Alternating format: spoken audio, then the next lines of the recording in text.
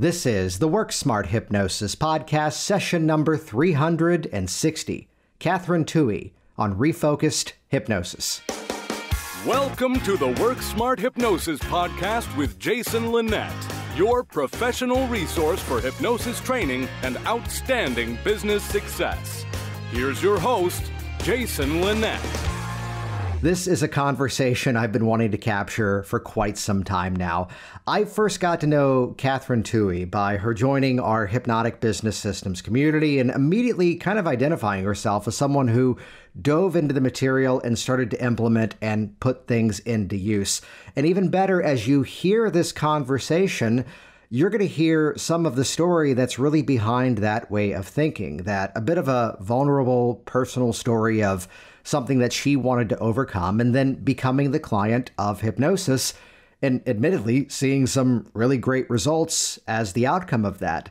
And then later on, as a similar yet different issue arose, then making the decision to, on the second pass, not necessarily be the client, but now to dive into learning the technologies of how all of this works and becoming the hypnotist herself, which is a big part of her journey, it turns out, of being on the inside of the process, learning what actually has to occur for someone to make that change, and how sometimes it does require that we go to those places that we don't quite want to go, but that as we break through that internal challenge, that's where the biggest breakthroughs actually occur. And as there ought to be on a podcast about hypnosis, we do wrap up this conversation with a very uh, enlivening conversation about musical theater and how, from the performance side of things, this is exactly where I know you expected it to go. From the performance side of things, there's something to be gained by stepping into that character, but how this also relates to as we help our clients create their own personal breakthroughs, it's doing something to us as the practitioner along that journey, too. A few things to really highlight here, by the way would be a big part of Kathryn's story is that quest for how do I get better at this? How do I improve upon this? So you'll hear an insight where she began with one training and then from there asking the question as to what else can I now learn? How can I get even better at this? And even some of the projects that she's currently producing that are already running by the time that this episode launches that sometimes it does require going outside of our common shared language of hypnotic techniques and principles, and how from either our personal experiences or from other coaching and consulting modalities, how we can actually serve our clients even better. You know, by asking the right questions. What are the breakthroughs that people need to have? What are the conversations we need to have between working with a kid and a parent? To then begin to create that space where this change can occur. So, this type of conversation is one of my favorites to share with you because it just shows the passion for helping, the passion for learning, and yes, the passion of um, being relatively short, as she's five foot two and I'm five foot four. Um, we fit most places is the right phrasing here. So this whole theme of refocused hypnosis is that of again consistently leveling up our efforts and you're going to hear that's a big part of Kathryn Toohey's story. I'd encourage you to head over to the show notes at worksmarthypnosis.com forward slash 360. This is episode number 360, so just worksmarthypnosis.com forward slash 360. That's where you can find the links to check out Kathryn's website, the different social media platforms that she regularly posts on, which we spend a big conversation around that. And while you're there too, check out hypnoticbusinesssystems.com. This is the all access pass to my hypnosis business training library where there's no need to reinvent the wheel. There's no need to just guess and test on your own. Learn from a community that's there to support you with strategies that have proven consistently to work time and time again, not just in my neighborhood, but indeed, as you'll hear part of the conversation here, all around the world, even in smaller markets. By the way, when you're on that page, hypnoticbusinesssystems.com, look towards the bottom. There's a little floating bar that's there that actually will give you an invite to get a free on demand training called Six Steps to a six figure hypnosis business. It's my gift to you for listening to this program, and it's going to walk you through six very specific strategies that you can plug into your business right away. That's all available to you at hypnoticbusinesssystems.com And with that, let's jump directly into this phenomenal conversation. Here we go. It's session number 360. Kathryn Toohey on refocused hypnosis. The very first introduction was back in around about 2007, maybe 2008. I was training to be a high school music teacher on the Isle of Man, where I live, and I was really struggling with irritable bowel syndrome, IBS, which I don't know if had been formally diagnosed at that point. And I had tried everything, Jason. I'd tried eliminating different things from my diet, um, changing up my exercise regime, different supplements and things. And then I was getting pretty desperate. And I found an advert in the Yellow Pages for a hypnotherapy clinic. And this advert, it was not along the lines of what you teach actually with Mitch. and this advert listed absolutely every single thing that hypnotherapy could help with. And one of the things that they listed was IBS. So mm-hmm. long I went, and I have to say, it took me many years and many thousands of pounds to get better, but it really did transform my health and and many other things in my life as well. That's amazing. Thank you for sharing that. I'd be curious to ask. We sometimes run into that situation where it takes some time for the effects to really be there. But oftentimes inside of that, here's like this one specific moment where something kind of clicked does that kind of line up with your story? Or was it more of a gradual? A little bit. So I was seeing this lovely husband and wife team. And it's interesting that now I look back, I wonder what I would make of it now with the experience that I have now as a trained therapist. Um, so I was seeing this really nice lady, and she got to the point where she knew I wasn't really getting results. And she said, I think you need to see my husband.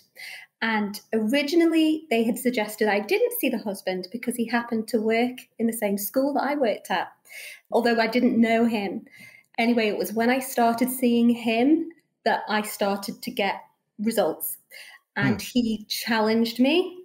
He did a lot of conversational hypnosis. So I was the client going home, going, he didn't even hypnotize me today. and it was at times quite difficult but it was what I needed.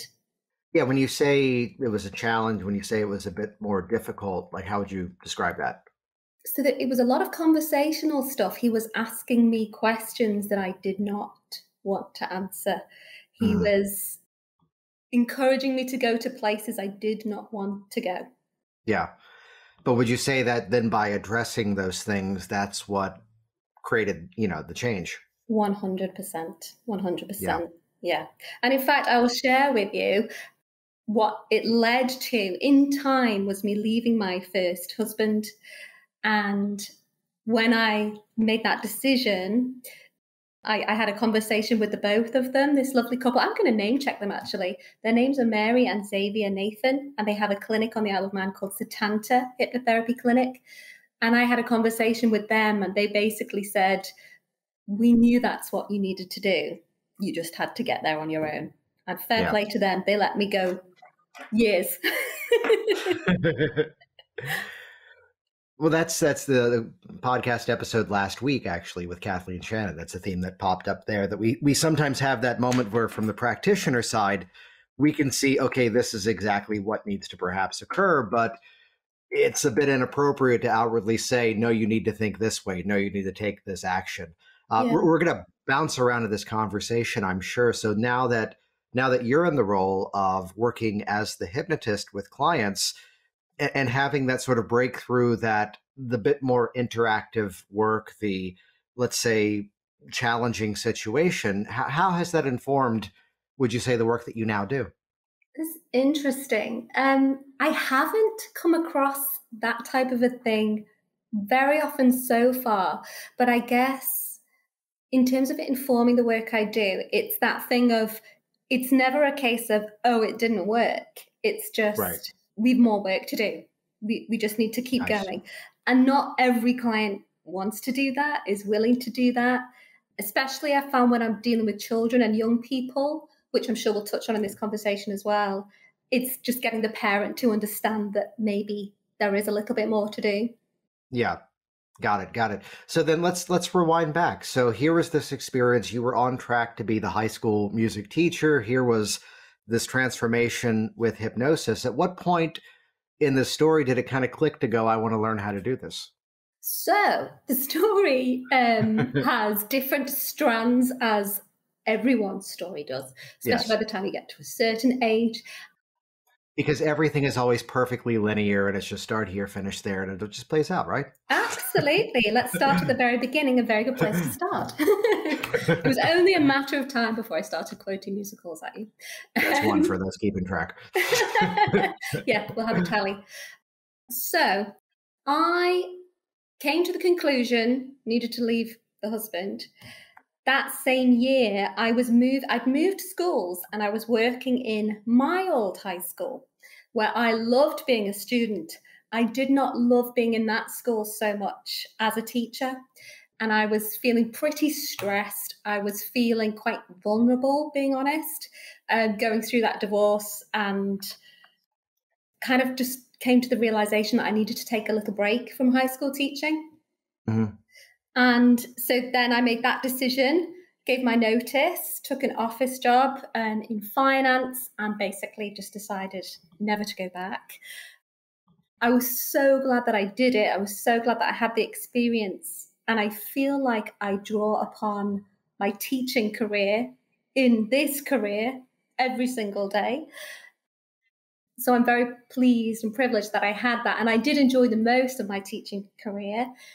In terms of when I decided to become a hypnotherapist, so fast forward many years, can't work out how many. I was remarried, very happily married, pretty bored in my job, and struggling with a number of health issues actually.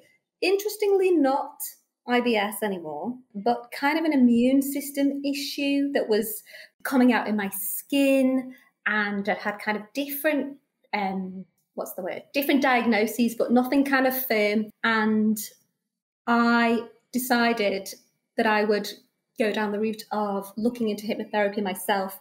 That's not quite the right order now I'm telling that story. There are a few other things that happened. We lost a family member, my mother in law, which created a lot of stress um, in our family and in, in my marriage actually it was it was really traumatic for my husband um, my, my second husband. And at that time, I was struggling. I was very stressed. I didn't know how to support him. And I could feel myself kind of slipping back into some ways and little patterns that I recognized from that time that I was really struggling going through my divorce when I was teaching. And I thought, I know how to sort this out. I know yeah. what I need to do. I'm going to go back to hypnosis. But by this time, I was like, I want to learn to do this for myself. Nice. So that was how I did it. Yeah. So then walk us through some of that journey. Like, where did you go? What were some of the places that you learned from? Well, I knew that I needed to do something distance learning. So this is back in 2017 18. I was doing my research. And because I live on the Isle of Man, I, I knew that there wasn't anything you know local that I could do here. So it needed to be done distance. And at that time, I wasn't aware of anyone teaching or training online.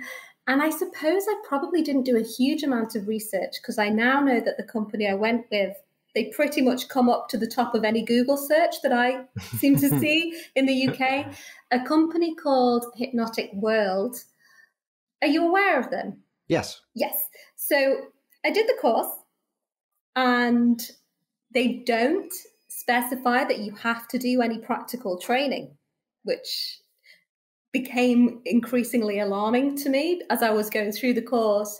And I was really enjoying it, really loving the studying and submitting my online exams. But I realized it was like learning to drive a car by mm-hmm. studying. So I needed to go over to, to the UK, and um, most of the courses actually were in Scotland um, to go and do some practical training, which is where I really got a taste for it and realized I, I have to do this in order to actually make make a proper go of this. What you're describing there is, I think, a, a segment that a lot of people find themselves inside of, and there's something to model there, which is that you know, I, I would give the disclaimer, of course, that I'm not specifically talking about the first group that you referenced, uh, because I'm sure then by learning the practical, it actually went back and ratified a lot yes. of the stuff you had learned at the beginning. So it's a mistake, I think, when someone says, uh, oh, that wasn't as good. It's like, well, no, the next thing you do compounds what's already there. Yet, um, this is not that company. This is not one that actually anyone has ever referenced on this podcast.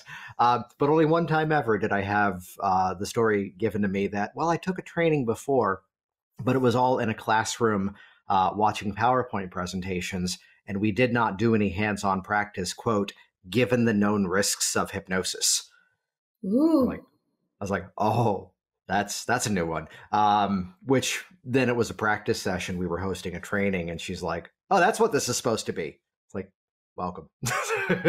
so it, it's where we can find the moment of here's what's missing, but rather than point a finger of blame, to go, well, what else can I do to further this knowledge? This is why, you know, so many of us keep taking courses, and I will often host things mostly because I want to be there too. Uh, so then, by getting the hands-on, what was what was again? We're always looking for turning points. What was different now that the hands-on was there? So the hands-on I was doing at the same time. So this company still ran practical workshops; they were just optional. And because of me living overseas, I thought, oh, I'll be able to take the just do it by the book option. And my mm-hmm. husband was quite happy with that idea because it was going to cost less money. Um, but I, re- I did one course um, in Scotland, so that was two flights away for me, but I made it work. And I was very lucky with that teacher, a man called John Sellers, who yeah. do you know John? Yes. Yes. So he he teaches, you know, rapid inductions and I really took a shining to John. And I think with my teaching background, he took a bit of a shining to me and thought, you know, this girl has got a background in teaching and she really seems to have an interest in this. And that was my first experience, but I just came on so much in that one weekend. I just thought, wow, if you know, if you can grow in confidence in two days, imagine what can happen if I keep going with this. So it was down to him really. Yeah. Awesome. So then here you are out of the training. At what point did you start to begin to see clients? So I started, let me think. I gained my qualification in the summer of 2019 and I hadn't, you know, truth be told, done very much practice on my own because I was struggling to find anyone to to actually practice with apart from when I was on these training courses. So I started to work with friends then. So around about August of 2019. Friends and friends of friends, mm-hmm. ready to then. I, I launched my business in December 2019 to kind of hit the ground running in January 2020. So I guess paid clients started, yeah, January 2020. Nice, nice. So the, along that journey, you already brought up the conversation of the niche. Did you begin by targeting something specifically or beginning more as the generalist or what was the pathway for that? So I had become a listener and a fan of your podcast. I had discovered the Brain Software podcast, and I'm going to talk, I'm so I'm sure, a lot about Mike and Chris, Mike Mandel and oh, Chris. Thompson, um, because I have to say, both of those podcasts, I feel really accelerated my learning as well. Oh, awesome. Thank you because I was still working a day job for a long time. Um, and my only chance to really study and learn was whilst I was out walking or whilst I was training in the gym. I didn't have a lot of time to kind of sit and just study at home. So, where are we going with that?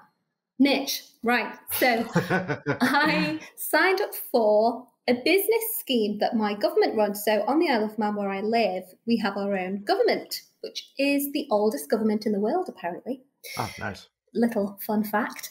Um, and we have we're very lucky here. They they run a, a small business course which I signed up for. And as part of that, I needed to create a business plan.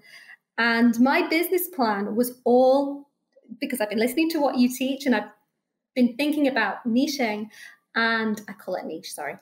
Um, and I thought I would go with IBS because that was my story. And indeed, when I first started seeing clients, I did see quite a few people, nearly all young ladies in their 20s for IBS, but not so much recently. So it's kind of gone more in different directions general anxiety um, and weight loss is something that I work with a lot. And it's something that I'm really passionate about as well. Yeah. Awesome. Awesome. So then what's been working? You mentioned taking, you know, this training in terms of here's this grant, here's this opportunity to learn business. What were some of the strategies early on to start to bring people in? So, the business course for me was very surface level.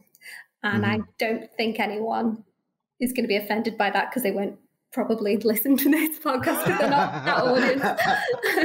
I hope that's not offensive. Finally, um, our first um, criticism and complaint from the government of the Isle of Man. It's I'm about time sorry. after all these episodes. uh, no, they'll never know. So, yeah, I knew that it was kind of very surface level and I knew that I needed to to do something more proactive. I was aware of your work and I think I've told you this. I thought, well, I'm not ready for Jason yet because I'm totally new to this. And he must be, you know, really, really expensive. So I was having a conversation with my friend, who's also my fitness coach. Um, and he's an experienced online fitness coach. And he recommended a group online business coaching program called High Impact, which I joined, and so did he. And that was a real turning point for me. I joined not really knowing what I was signing up for, but it was 3 mm-hmm. months of group business coaching. So they were all fit pros and me. And it was all basically about social media strategies. So up until March of 2020, I didn't even have a Facebook profile, a personal one um, because I used to keep a very, very low profile, which I think was the school teacher in me wanting to kind of keep a very separate personal life to professional life. So I felt totally out of my depth, but they just kind of coached us on regular posting, using your own profile three times a day, getting on Facebook Live. And I started doing that in July of 2020. And within a month, quit my day job. Oh, nice. It was brilliant.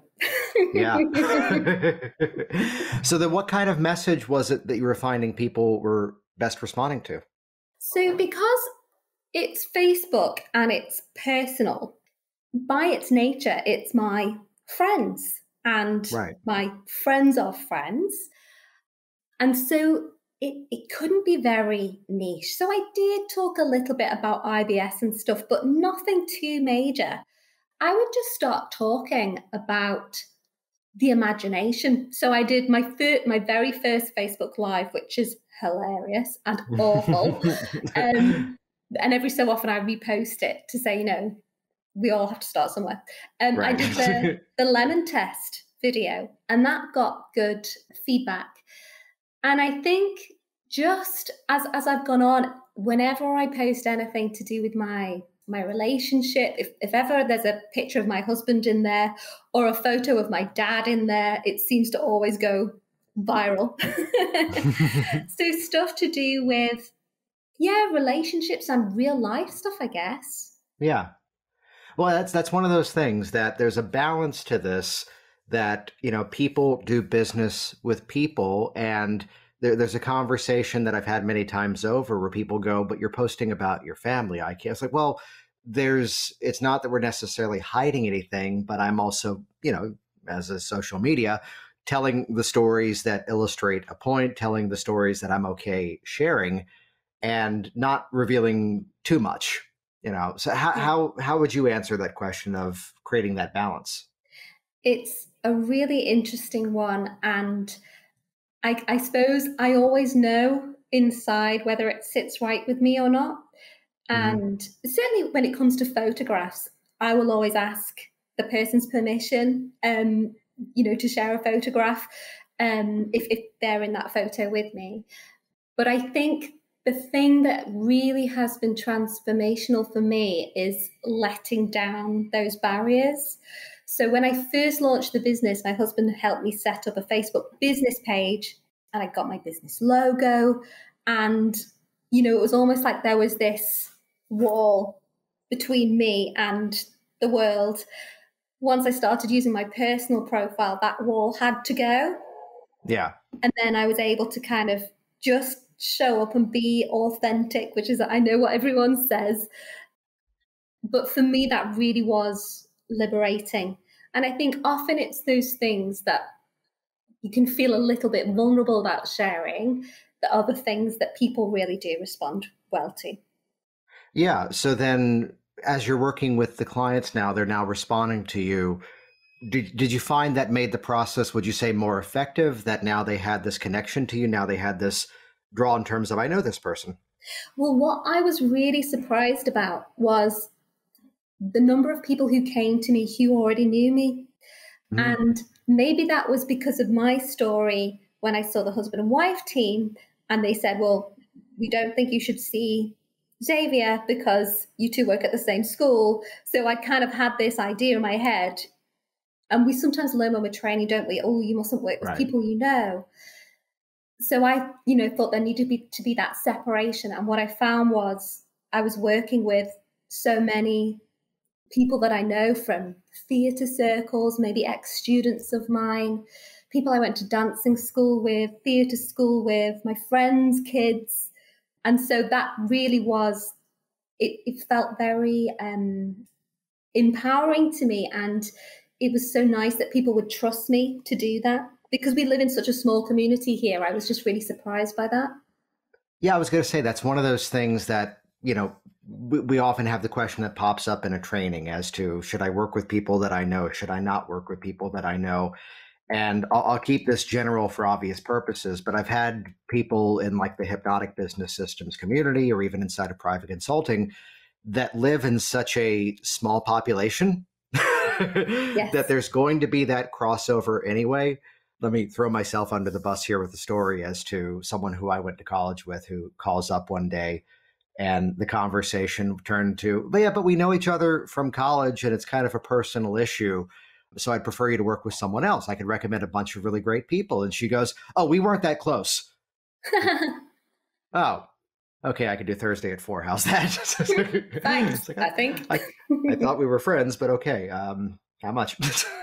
so we run into that situation. Is that something that you've found there had to be a bit of a balance to, would you say?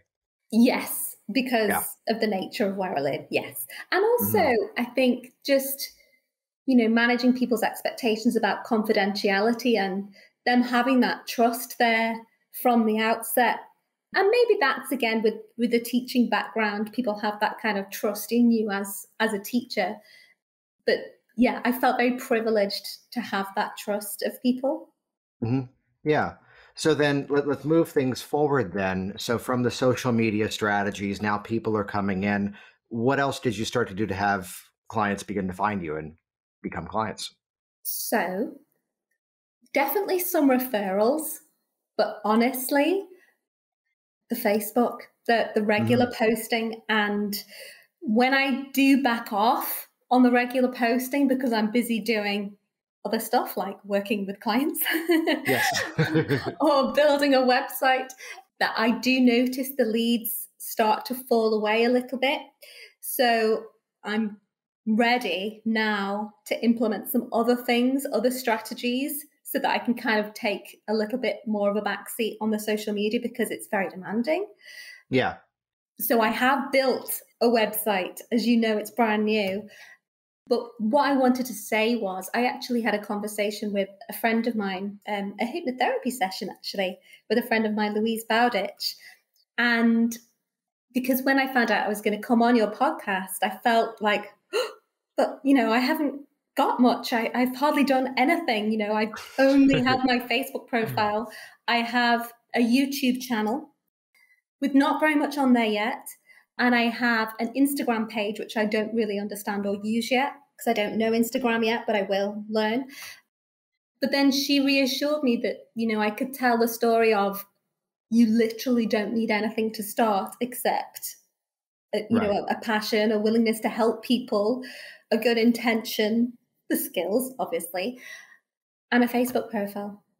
Well, it's it's the reality. I mean, this uh, goes back to the correlation. You know, part of my story was beginning with like business networking, going out and giving talks, a lot more active strategies because the social media platforms were just kind of beginning mm-hmm. at that point and didn't quite have the well-known reach and all the same strategies work from one to the other but kind of like where you are right now because i'd imagine now there's streams of referrals that are yes. coming in now there's you know because there's a footprint of what you do everything begins active and then only over time does it become passive and the mistake i see people make time and time again is that they think here's this really exciting sexy passive income stuff and they want to start there yet they don't have the digital footprint or even the content to actually pull that off and you know the same as i was pounding the pavement going to meeting after meeting and giving talk after talk that's what we can now do by, as you've done, the Facebook Live, by doing things on social that can reach an audience even faster and we get to stay home. Yeah, yeah, definitely.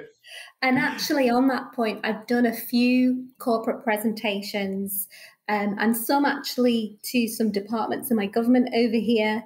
And just that willingness to say yes um, yeah. when it's unpaid that's fine. And also that challenges me to be able to stand up and, and deliver a talk. I know that's good for me. It takes me out of my comfort zone. And the more I do it, the more comfortable I get. I need to get better at kind of finding out the analytics behind what does bring someone in. It's on their consultation form, um, but I need to probably do something with that data. So I, I'm pretty sure that those things do help as well. Yeah, absolutely. So let, let's talk about some of the specialties that have come out of what you've been doing. That you mentioned working with weight. You kind of hinted working with uh, with parents, with children. Walk us through some of the things that you're the most drawn to. The weight loss stuff really does draw me in. So I discovered Lori Hammond on your podcast, and I think has she mm-hmm. been on? Has she been on three times? Uh, either two or three times, I believe. Yeah. And so when, when I discovered your podcast, I binged, listened, you know, went back, listened to them all. And then I found out that she had trained with Mike Mandel's academy, and I signed up for their academy in 2019 to complement what I was already doing. And I really resonated with Lori, partly with her own story of her weight struggles, partly because of her kind of just nature and the way that she comes across resonated with me because sometimes in the hypnosis world, there's these really big, dynamic, what's the word, extrovert male characters, which made me think, well, that's, you know, that's not me. How can I show up in a way that is is authentic to me? And the way that Lori comes across and presents herself just made me think i can i can do that and it wasn't until i'd listened to more of her stuff that i realized she hasn't been doing this as long, nearly as long as I thought in my head when I'd heard what she'd been doing. Anyway, so I'd been on a couple of her um, training courses with group weight loss. Mm-hmm. And I can't remember the order of everything, whether I discovered Freddy through her or through, no, that was probably through Mike's Academy as well. So I've done, um, I've done Freddy and Anthony Jacquin's course as well and they are obviously very big promoters of Lori Hammond. And so I started running my own group weight loss course.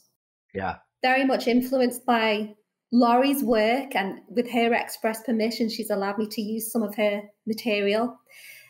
And then what's lovely, what I've really felt so confident in is that over the course of this year, I've run my first group weight loss program.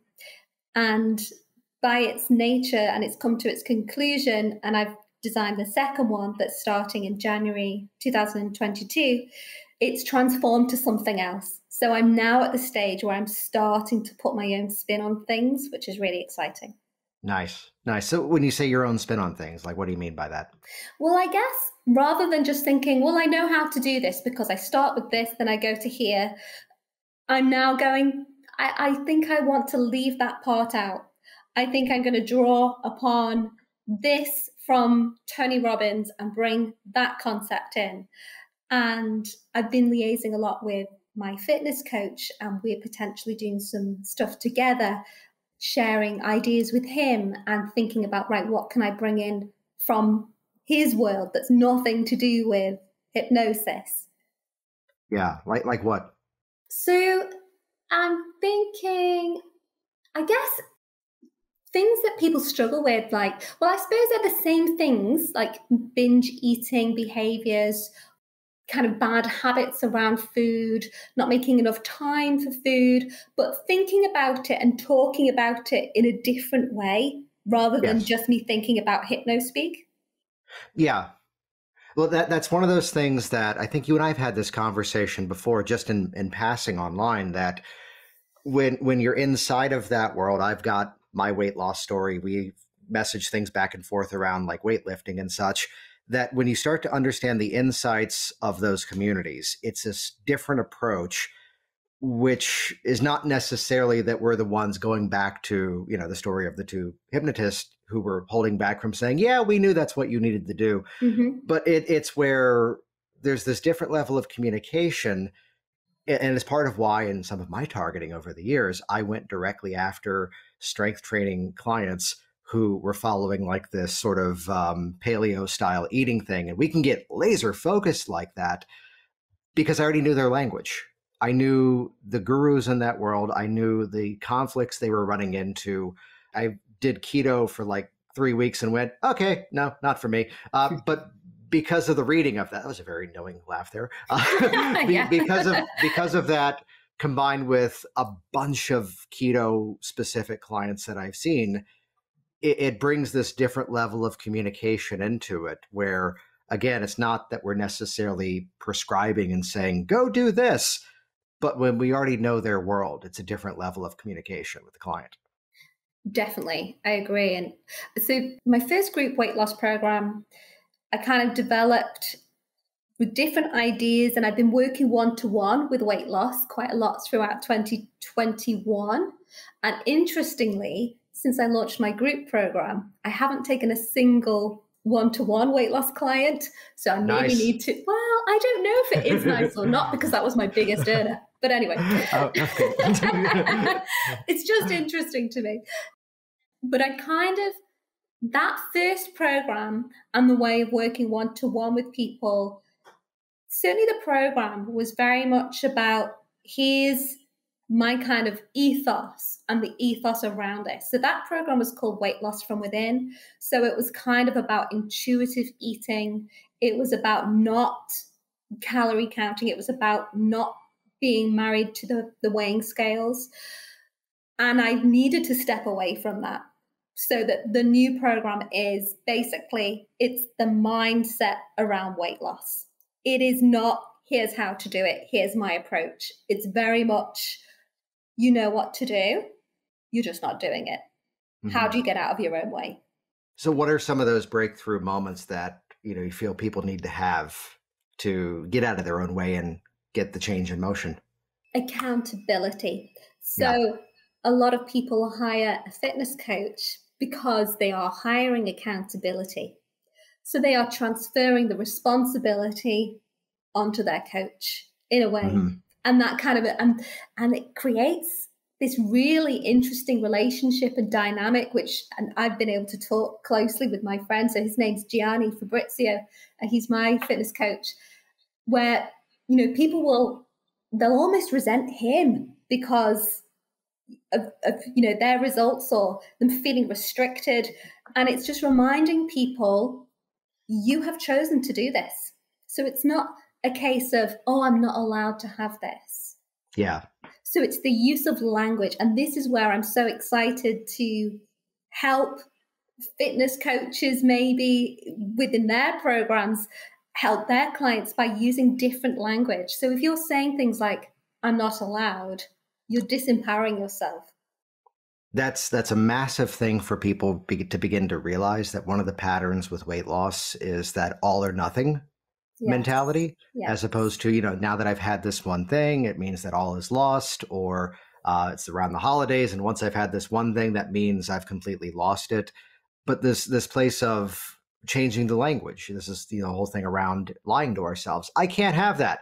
Well you're a grown adult and you could pick it up and eat it. You could Yes. but the difference is now you're making that decision. Do, do you feel is that something to be, let's say, lectured to the client or turned into a technique, or how are you conveying that? I, I suppose it's different in a group setting to one to one, but I will talk about the use of language and how we talk to ourselves and stepping in. So I'll do a protocol hypnotically about, you know, stepping into your own accountability, into your mm-hmm. own autonomy, where ultimately the book stops and starts with you. And when you can become 100% accountable to yourself, you kind of have to let go of any resentment that you might feel towards anyone or anything else.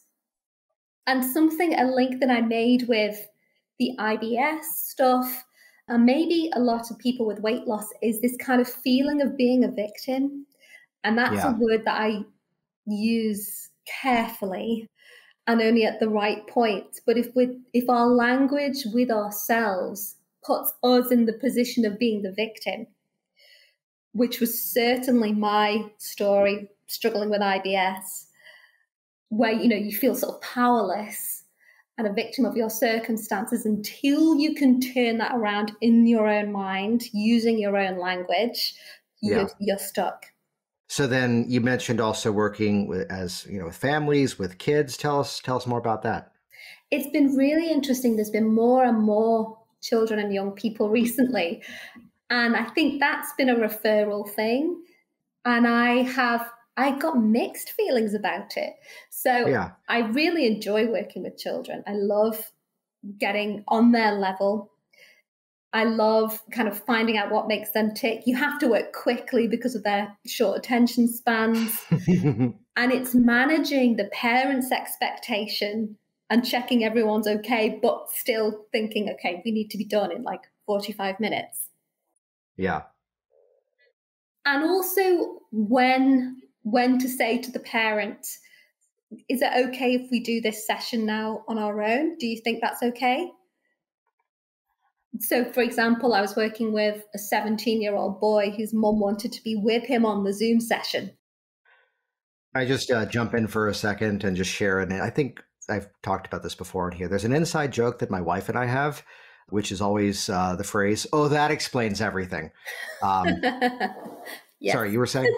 but exactly, exactly. Yeah. So, you know, it's that letting go. And since actually it's quite a recent thing where I now, when I work with a, a young person, I will insist that I do a session with the parent as well as part mm. of that kind of program. Yeah. What what do you find is the benefit of that? Often I mean, it's so new, it's so recent. I'm yet to actually do that parent session.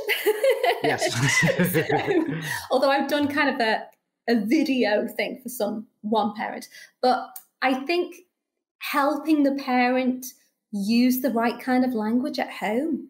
Yeah.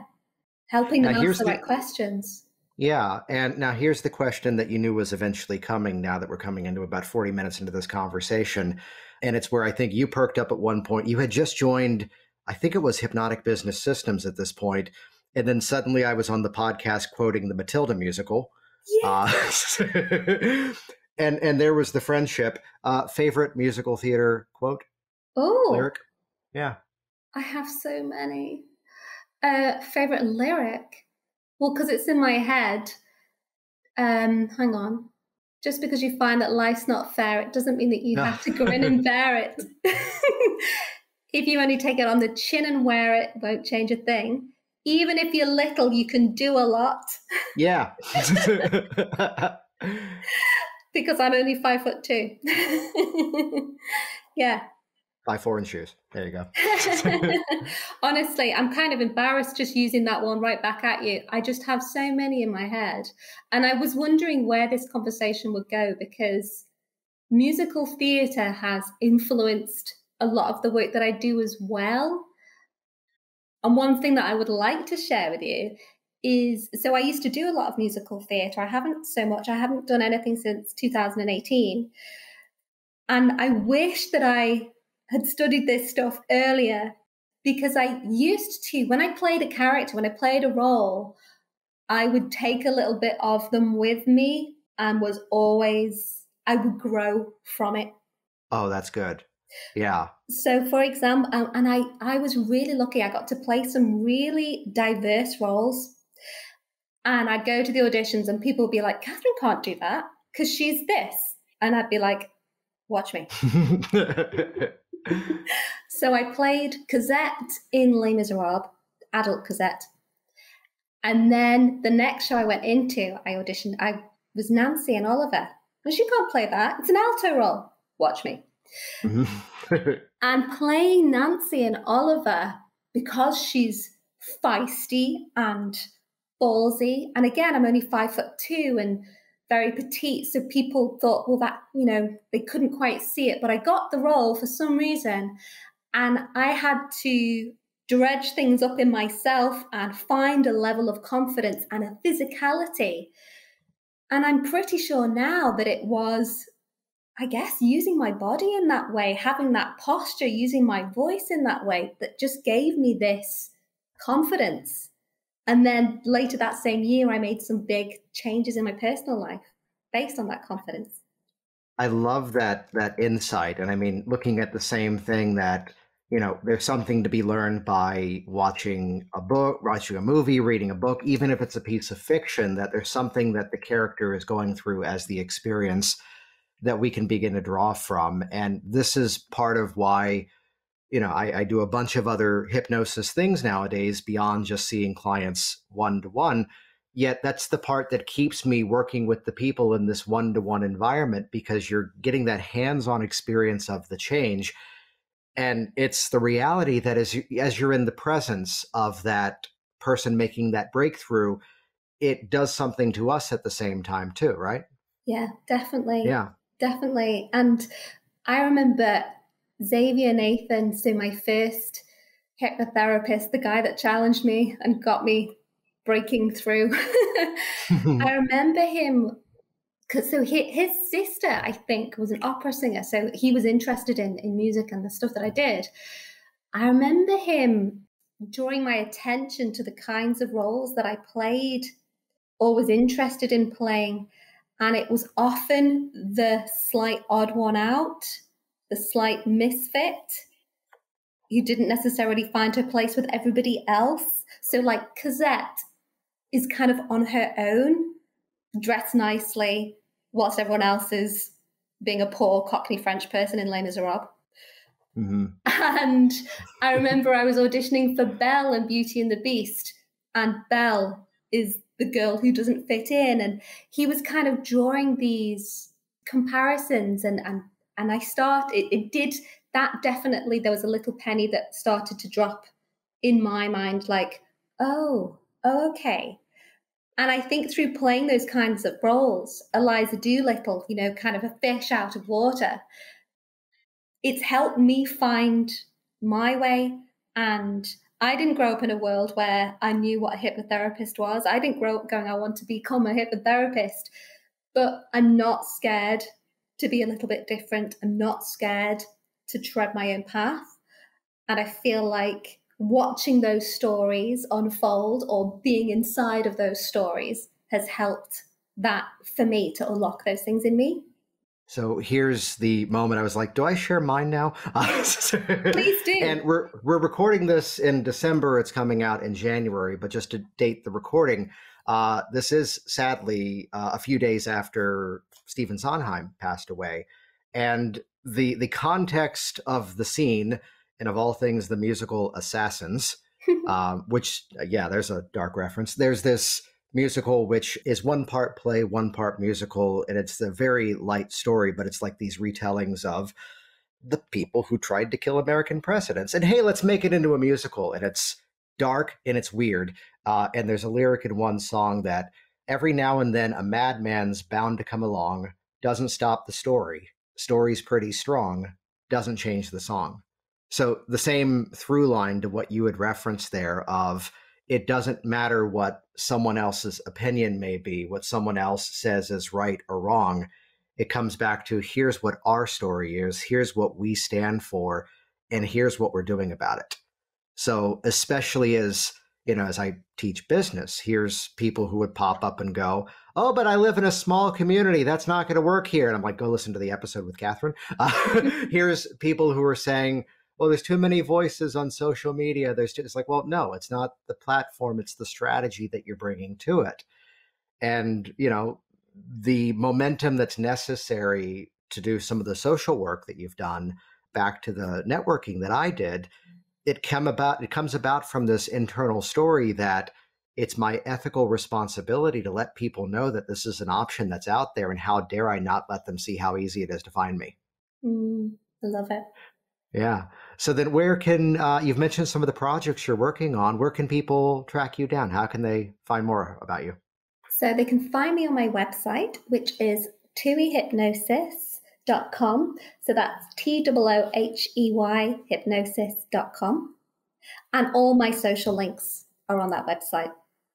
Yeah, and what we'll do too is this is episode number 360. Uh, so if you just go to worksmarthypnosis.com forward slash 360, that'll bring you over to the show notes where you can find the link to Toohey Hypnosis as well as all the social links as well. Kathryn, it's about time we do this. Thanks for coming on. Thank you so much for having me. And any final thoughts for the listeners out there? My final thoughts are just go for it. And I actually thought I would talk about them more. Having fun. So I'm part of MMHA, Mike Mandel's Hypnosis Academy.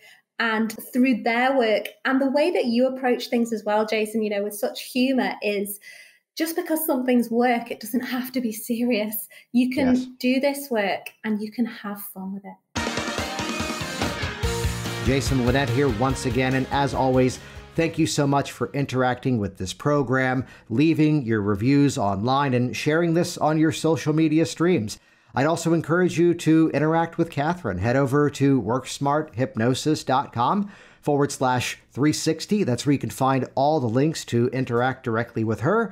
And while you're there too, check out hypnoticbusinesssystems.com. Learn what works with more than two dozen specific proven business action plans that are ready for you to model, ready for you to implement. And my goal is to get you up and running even faster, even easier, which is why the program now features some done for you marketing materials that you have my permission to slap your name on, make whatever modifications to make it your own, and get you out there running and seeing clients even faster. Check out all the details and learn even more at hypnoticbusinesssystems.com.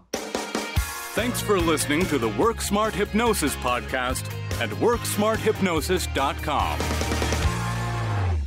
Hey, it's Jason here, and I want you to be the first to find out as we upload new content here online. So do this right now. Click subscribe right next to this video, and you will be the first to find out as I share further resources, further downloads, and other really cool things to come your way. See you soon.